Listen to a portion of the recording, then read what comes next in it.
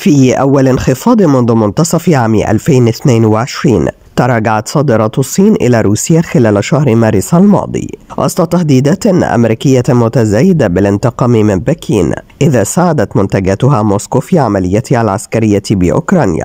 وانخفضت صادرات الصين إلى روسيا بنسبة 16% في الوقت الذي تواجه فيه موسكو صعوبات متزايدة في المدفوعات الدولية بشكل عام.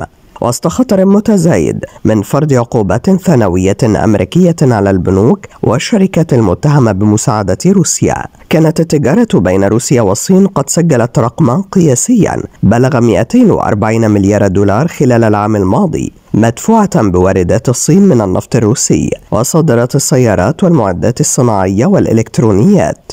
في الوقت نفسه أكد بنك روسيا المركزي أن إجمالي ما استوردته روسيا في مارس تقلص بنسبة 18% مقارنة بالشهر المقابل من العام الماضي. في حين قال وزير الخارجية الروسي سيرجي لافروف أن موسكو وبكين اتفقتا على العمل على التصدي المزدوج للولايات المتحدة وحلفائها. وخلال زيارة لوزيرة الخزانة الأمريكية جونيت يالن إلى الصين الأسبوع الماضي حذرت يالن من عواقب وخيمة على البنوك والمصدرين الصينيين إذا عززوا القدرة العسكرية الروسية قائلة إنهم سيعرضون أنفسهم لخطر العقوبة الأمريكية إذا فعلوا ذلك.